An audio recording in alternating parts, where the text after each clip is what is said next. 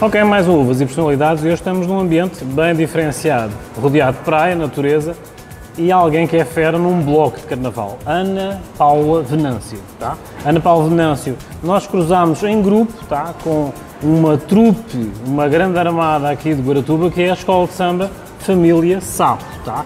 Mas é assim, o meu programa quer geralmente conhecer quem é o rótulo e a uva, tá? Mas agora vamos ver, quem não te conhece, quem é Ana Paula Venâncio? Ana Paula Venâncio é depiladora e massoterapeuta e rainha da bateria do bloco Família Sapo. Também sou professora de dança do ventre. Ah, dizer, é, agora começa a gaguejar, agora começa a dizer assim, o que é que a Ana Paula, para além de assim, é massoterapeuta, é professora, correto? E é da escola de samba. O que é que isso tem a ver com o teu personalidade? Como é que surgiu essa questão de vou para uma escola de samba? Já foi um clique, foi uma oportunidade, o que é que foi? Sempre gostei de samba, sempre gostei. E em 2000 eu tive a oportunidade de participar de um concurso que teve na nossa cidade, que antigamente era na praia, com essa vista maravilhosa, e eu ganhei como princesa do carnaval. Então ali foi o pontapé inicial. Depois disso, né, a vida me levou para outro rumo, tive filha e fui morar fora e voltei. E sou conhecida da, da, da, da, família Sapo, né? E um dia a Débora, que é a presidente hoje, me ligou me convidando. Eu achei a ideia assim sensacional, fiquei com um pouquinho de receio, será que vai dar certo? Guaratuba, né? E em 2017 eu encarei esse, esse desafio que era ser a rainha da bateria, uma coisa que não tinha aqui, né? E foi muito legal. Foi muito Agora legal. vou apanhar o gancho de que tu disseste aqui, aqui em Guaratuba. Eu sei que Guaratuba é morno, não é? Ou seja, fora da temporada é assim meio morno. Como é que vocês encararam essa situação de fazer espevitar Guaratuba, tá? mesmo fora da temporada? É? Vocês têm os ensaios, têm outras situações que, de alguma forma, são paralelos à escola de samba. Sim. Como é que vocês acham motivação para esquentar o caldo em Guaratuba quando a Guaratuba é assim tão morna? Nós fazemos alguns eventos, né? É, normalmente de flashback, que o pessoal ama e adora, né? Então sempre com os abadás, com, né, com as camisetas do bloco, para mostrar e para divulgar o bloco e também através das redes sociais, que hoje é o meio de comunicação mais é, que atinge mais rapidamente o público, né? Não só daqui, mas como da, da região e de fora também. Porque o pessoal de São Paulo, Rio de Janeiro já conhece o Bloco da Família Sapo. Ah, a nível de divulgação está tranquilo. Ou seja, nesse período que vocês estão mais calmos, fora do Carnaval, vocês todos, de alguma forma, aproveitam a vossa área profissional para divulgar o grupo. Como é que vocês fazem? Vocês têm apoios de fora? Têm patrocínios? Fala um pouco como é que isso é. é essa parte, assim, a princípio não, porque agora é, passou o carnaval, passa o ressacão do carnaval, os últimos eventos, aí a gente descansa, né? E em maio, junho a gente começa novamente a fazer as inscrições, ver quem vai ficar na bateria, quem as inscrições para a ala das crianças, a ala das passistas, daí começa toda a conversa e a parte de trabalhar para arrecadar dinheiro para comprar novos instrumentos, fantasias, que é, né, toda essa parte. Então a gente tem uma, um período que a gente fica quietinho, uhum. né? E a ideia esse ano é já começar em maio, né? Para poder começar a, a, a, movimentar mais e fazer até shows, né? Porque a gente faz os eventos e é tão gostoso, o pessoal gosta tanto. Mas agora, neste momento, a gente vai dar uma descansadinha. Quer dizer que é a ressaca do carnaval, ok? É ressaca do carnaval. Então agora vamos para a tua área profissional. Agora vais ter o feedback de quem te viu em público. Houve uma transição em que tu foste pela primeira vez, que ninguém te conhecia, tá? Depois houve a exibição e foi a enfrentar aquele público todo. Ou seja, cá em, em Guaratuba tiveram perto de um milhão de pessoas? Acho que provavelmente. Um milhão de pessoas a, a verem. Na avenida, na segunda-feira, tinham 600 mil pessoas. 600 mil pessoas. Fora aqueles que dormem mais cedo. É. Acontece, acontece, não é? Verdade. Ah. Como é que foi a exposição pela primeira vez? O anonimato? o treino, a timidez, a enfrentar as feras, porque assim é uma arena, tá? E depois ao final do primeiro desfile. Conta-me um pouco como é que foi a, a sair do casulo, praticamente foi isso. Conta-me lá como é que foi essa experiência. A primeira vez, assim, foi um frio na barriga, acho que para todo mundo, né? Porque em 2017 foi o concurso de blocos, foi a nossa primeira vez. Então não tínhamos fantasia, não tínhamos instrumentos, então foi tudo uma loucura. Então quando eu comecei a contar para os conhecidos, para as clientes, né, todo mundo olhou, nossa, Ana, será, né? E, e envolve várias coisas, né? Nossa, minha depiladora vai estar lá na avenida, né? Como assim? E daí eles viram a gente ali, todo mundo achou muito legal, porque é um bloco familiar. Então quando eles veem assim que não. Poxa, eu posso levar minha família, posso levar minha mãe de 70 anos, posso levar as crianças, o pessoal começa a querer participar. Então prime... o primeiro impacto que eu percebi foi isso. O pessoal, posso participar também ano que vem? Nossa, eu vi você com a tua família, com o teu marido, com a tua filha, posso ir também? Aí 2018 a gente já, opa, né? A gente, nós fomos vice-campeões em 2017. Em 2018 fomos campeões.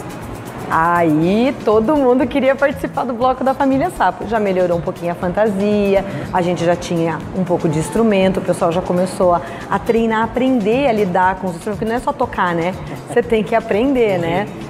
O ritmo ali, os ensaios começaram a ficar mais sérios também, né? Aí 2019, meu Deus do céu, uma explosão, entrevista em televisão, em rádio, foi bem legal. E assim, aí aumentou demais o número de integrantes.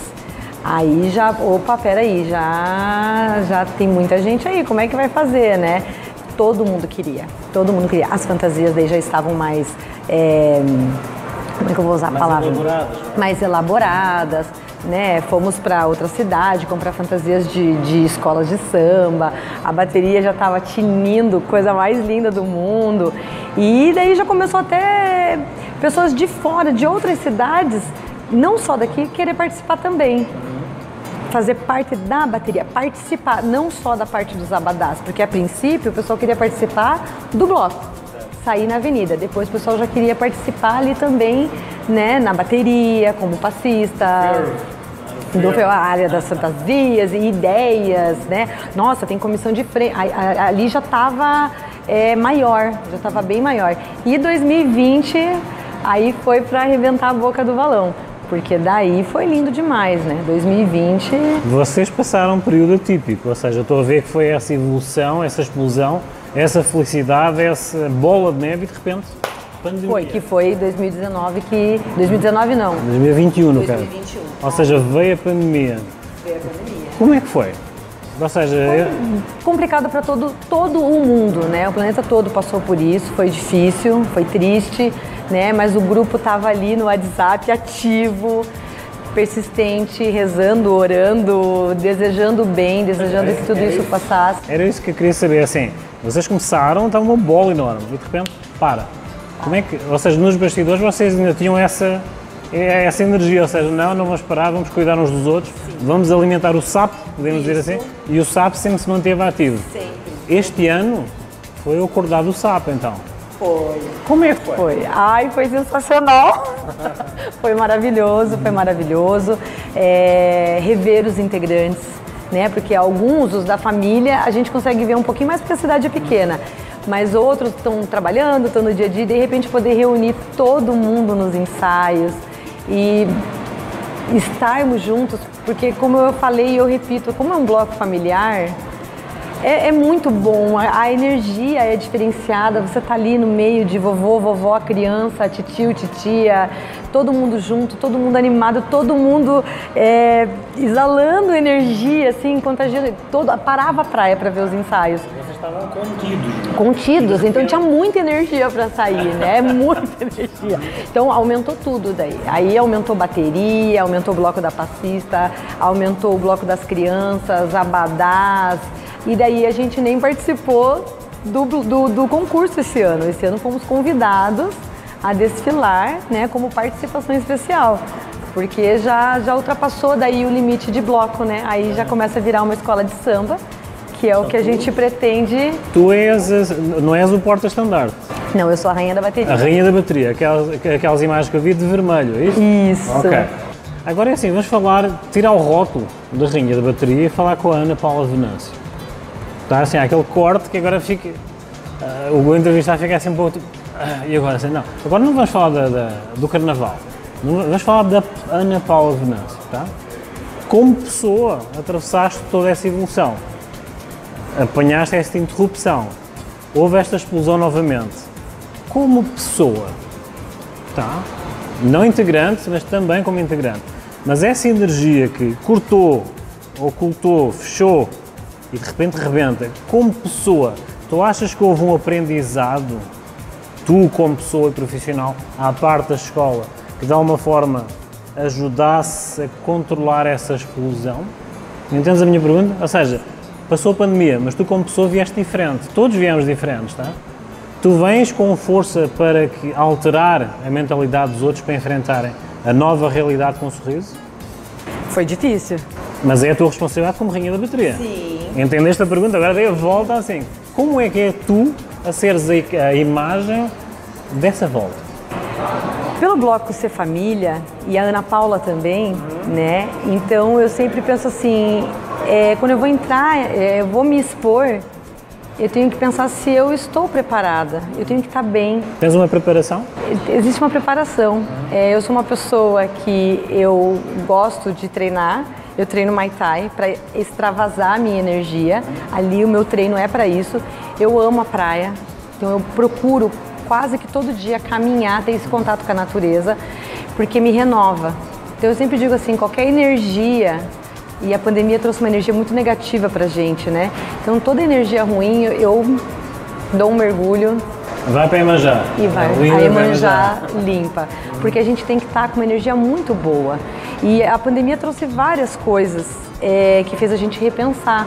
A gente, nós como mulheres, homens, é, idade, eu não sou mais uma mocinha, né? Não tenho mais 18 anos. É, corpo, a cor do cabelo, tudo isso, porque quando a gente voltou para a realidade, como bloco ou sem bloco, Ana Paula ou a rainha da bateria, quando a gente colocou a cara para fora, foi um impacto muito grande, né? Ou seja, houve um crescimento. Houve um crescimento?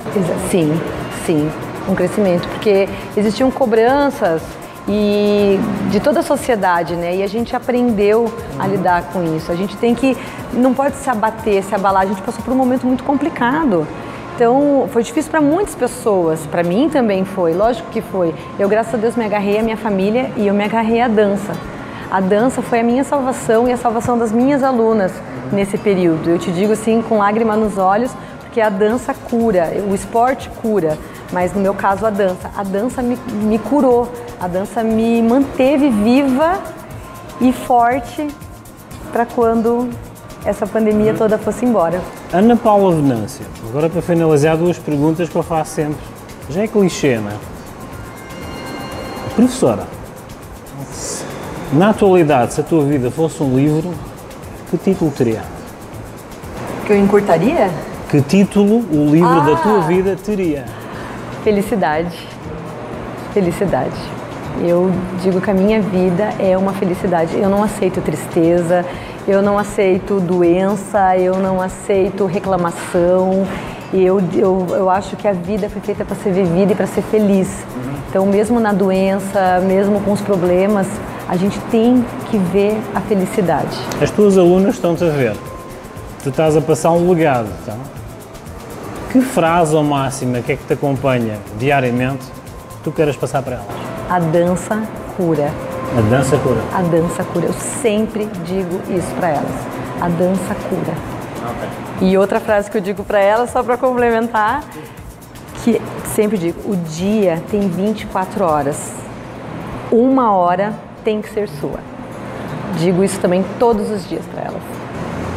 Ana Paula Venâncio, dança do ventre, Muay Thai, professora de dança, carrinha da bateria, é assim, não cheguem perto, é, fera já é, tá? Portanto, é assim, vejam ver, venham ver, então através das imagens, que já vai incluir na edição, a fera que Ana Paula Venâncio é. Paula, obrigado por teres vindo ao Obrigada, obrigada. Vamos fazer um pequeno intervalo e voltamos, já já.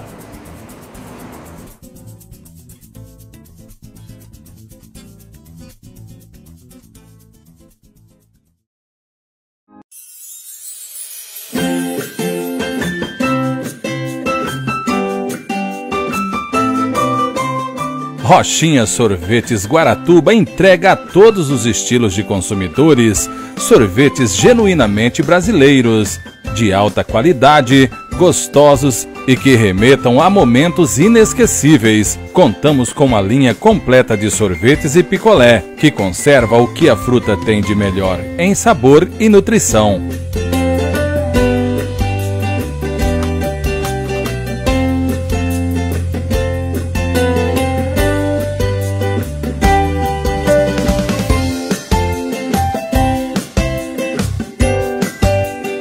Rochinha é sorvete com gostinho de férias de verão. Em Guaratuba fica em frente ao letreiro da Praia Central. Agora que você já nos conhece, é hora de saborear um sorvete Rochinha.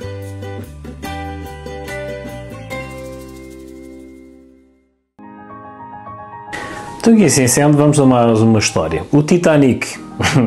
vamos nós falar do, Titanic. Uh, atualmente foi descoberto uh, uma cópia do menu do, uh, do que era servido no Titanic lá está, vamos pensar nisso momentos antes. O que é que estava a ser servido no Titanic?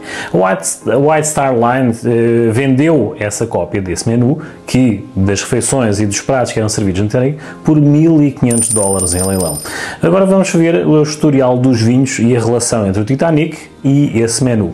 Esse menu é, tinha um decorrer de 12 pratos durante a refeição e o seu devido acompanhamento com os vinhos. Vinhos de referência na altura, mas um deles ainda existente era o Muscat de Baume de Venice, um rótulo ainda existente, mas como vemos, como saberemos, são de castas mais atuais, mas é sempre aquela sensação de você estar a adquirir esse vinho e estar a provar e a degustar algo que foi apresentado no decurso de uma refeição no Titanic. Lá está. Estas e outras histórias no meu YouTube, Uvas e Personalidades, onde vocês vão ver histórias atuais e contemporâneas. Então não percam um próximo episódio.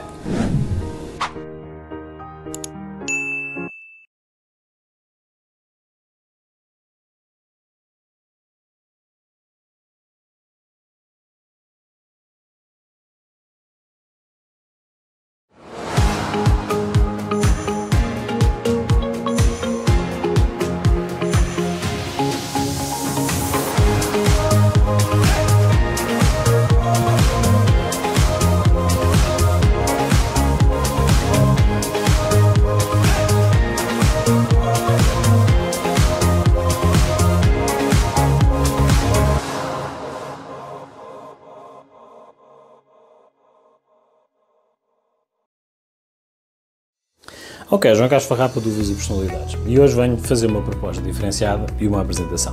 O que é Uvas e Personalidades e o convite para que vocês participem do nosso grupo. Uvas e Personalidades surgiu em 2020, produto e projeto do uh, Produtora Conteúdo. Produtora Conteúdo que surgiu com esta proposta e eu desenvolvi exatamente mostrando história e contactos de alguma forma com empresários para mostrar o que de melhor aqui no Brasil, lá para fora. Na sequência, com o nosso networking, surgiram contactos empresariais que, de alguma forma, nós fizemos o, uh, o apadrinhamento, digamos assim, e a ponte entre Portugal e, nomeadamente, uh, o Brasil. Nessa sequência, inicialmente em 2020, nós fazíamos somente uh, streaming e YouTube. Na sequência, lá está, houve a divulgação tanto das nossas entrevistas com empresários das mais diversas áreas profissionais, o que surgiu um networking interessante. Surgiram contactos, surgiram pontos que nós fornecemos e também através da nossa divulgação a, demonstração dessas empresas visualizando e propondo um marketing diferenciado na nossa questão de visualização. Na atualidade estamos em 8 TVs, tendo um horário semanal de divulgação de 14 horas semanais. Visto isso, muitas empresas já se agregaram a nós, nossas parceiras e patrocinadores, do qual viram que têm frutos a nível da divulgação, das nossas parcerias e dos nossos contactos, que a partir do momento em que nós estamos a divulgar essas empresas como patrocinadores, como conteúdo, de alguma forma tem resultado. Tem sido benéfico para ambos. Atualmente estamos, como já disse, com 14 horas semanais de programação em mais de 27 países tá? e com 8 TVs. Agrega-se a informação que passa nas outras redes sociais, Instagram, YouTube, Facebook, o que de alguma forma é benéfico para todos aqueles que fazem parte do nosso grupo. O nosso objetivo é fazer essa proposta. Venham fazer parte do nosso grupo, venham fazer parte do nosso networking. Entre em contato através das nossas redes sociais para que de alguma forma nós vos possamos ajudar a fazer parte deste grupo que é a produtora conteúdo. Como eu digo, nada do que se possa uh, passar despercebido tem que ser visualizado. Toda a grande empresa precisa de um mecanismo de divulgação. A minha proposta da produtora conteúdo e do Voz Personalidades é esta. Venham fazer parte com o vosso conteúdo e agregar-se ao nosso grupo da produtora conteúdo e através de uvas e personalidades serem vistos lá fora e cá dentro também. Tem sido uma evolução perante aqueles que nos acompanham, onde vocês podem comprovar. Temos tido feedback muito positivo a nível internacional, principalmente pelas comunidades portuguesas e brasileiras que se encontram ao redor do mundo. Querem abraçar a evolução, tem que haver um caminho a percorrer. É a minha proposta Uvas e Personalidades é que vocês façam parte do nosso grupo. Venham conhecer um pouco mais, avancem com uma dúvida e venham tomar conhecimento das nossas propostas. Agreguem-se, venham fazer parte do e Personalidades e da Produtor Conteúdo. Até à próxima!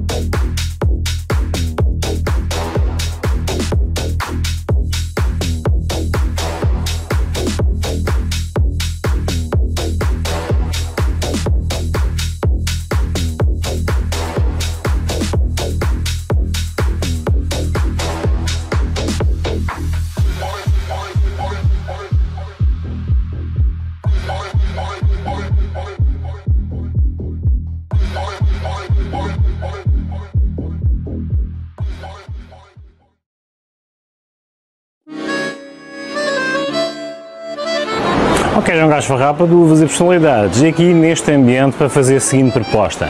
Através do Uvas e Personalidades, através da Chameleon Travel Shop, vocês têm o desconto de 5% tá, no pacote para o sul de França acedam aqui este Carry Code, que está do lado, vejam o itinerário e uma, da, uma das coisas que eu vos posso propor é um acompanhamento bem diferenciado. Vão ter um atendimento VIP, chefe particular, a recepção privada e um comportamento como se fosse uma estrela de cinema. E quiçá vocês possam encontrar alguém nesse tour que a Chameleon Travel Shop vos propõe. Acedam a este Carry Code, vejam o que uvas e personalidades pode oferecer, acessem pelo Carry Code, vejam aquilo que nós propomos. Venham daí, pela Chameleon Travel Shop ao sul de França. Venham daí.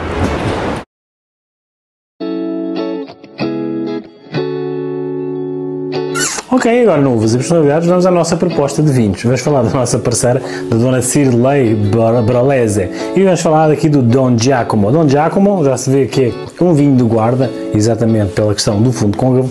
Temos então aqui a proposta do Tanat Don Giacomo. Caxias do Sul é representado com este ilustre a 12 graus tá, de álcool. Temos a falar de uma estrutura muito interessante. Mantém aquele processo de estruturar o vinho com as cascas de carvalho no fundo dos silos de inox, mas dá propriedades a que seja um vinho bem estruturado. No caso, estamos a falar da Tanat, o casamento perfeito com carnes vermelhas e queijos encorpados. Vai dar um tom de aromas de chocolate, frutas vermelhas bem intensas e, o, e a questão do Tanat. Tanat é questão de um tanino acima da média. Uva ícone do uh, Uruguai veio do sul de França, mas lá está, uh, achou toda a sua potencialidade no terroir aqui do Novo Mundo. É a proposta aqui da Cirlei Brolese, tá? da SB Vinhos, e deste Dom Giacomo Tanat. Acompanhem estas e outras propostas daqui da nossa parceira Dona Cirlei, Caxias do Sul. Acompanhem o site dela, vejam a estruturação e a personalidade dos vinhos que ela representa. Hoje foi um Tanat de 2021 tá? de 12 graus, um, um espetáculo para harmonizar com carnes vermelhas e queijos mais estruturados. Vão lá e acompanhem. SB Vinhos, Cirlei Brolese, e foi a nossa sugestão hoje aqui no Uvas e Personalidades. Sigam lá.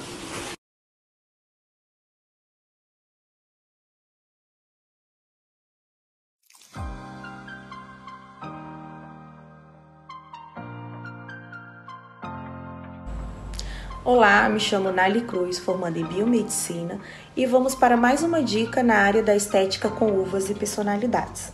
A dica de hoje é lipo de papada sem cortes. A lipo de papada sem cortes é um procedimento simples e sem desconforto. É feito com uma enzima que possui o ácido deoxicólico, uma substância que o nosso próprio corpo, organismo produz e que auxilia na absorção da gordura. O procedimento é seguro, é simples, podendo notar os efeitos logo após a primeira aplicação. É um tratamento que oferece a possibilidade de eliminar a gordura em regiões difíceis, é sem cortes e de forma segura. Ele irá melhorar a definição do rosto, do corpo, sem as necessidades de cirurgia. As sessões são rápidas e os resultados são visíveis logo às primeiras aplicações. Acompanhem aí todo o procedimento sendo feito. E essa foi a dica de hoje, aqui com Nali Cruz, nos Dicas de Estética com uvas e personalidades. Até mais!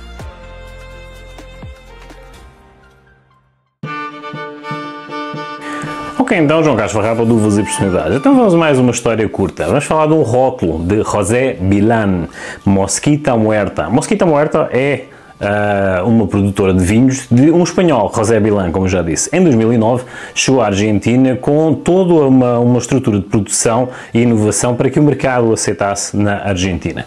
No entanto, a Mosquita Muerta começou a produzir vinhos, mas nunca lhe deram muito crédito nem muita vantagem na questão de produção e qualidade dos seus vinhos. No entanto, José Bilan, espanhol, lá está, de, de, de fibra, em, em 2009, lá está, quando se instalou na Argentina, eh, começou a investir na produção e começou, começou realmente uh, a exacerbar o seu vinho com vinhos de média e alta gama. Um desses vinhos, lá está, que se relevou bastante com uva Malbec foi Mosquita Muerta, tá, a vinícola, e Cordero en Piel de Lobo. Porquê esse, esse, esse, de, esse rótulo? Exatamente pela ironia.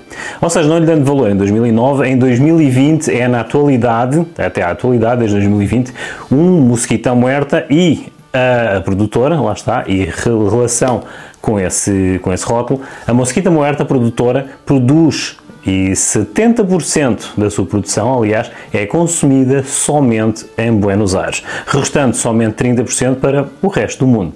Como vê, lá exatamente é a questão da ironia que José Bilan põe no rótulo de Cordero em pele de lobo. Cuidado daquele que dentro de um rebanho se comporta de maneira diferenciada e é o primeiro a sair do rebanho por iniciativa própria. É a ironia de José Bilan que, instaurando Mosquita Muerta na Argentina em 2009, quis sobrepor, repito, essa ironia de cordeiro com, ou cordeiro com pele de lobo e a ironia de que desconfiai ou não desacreditai daquele que tem uma maneira diferente de pensar. Estas e outras histórias então no meu YouTube, Uvas e Personalidades, sigam lá, inscrevam-se, é gratuito e acompanhem outras, estas e outras histórias que, como eu costumo dizer, é uma história de uma garrafa e nada do que é passado não poderá ser presente e será sempre contemporâneo. Até um próximo episódio.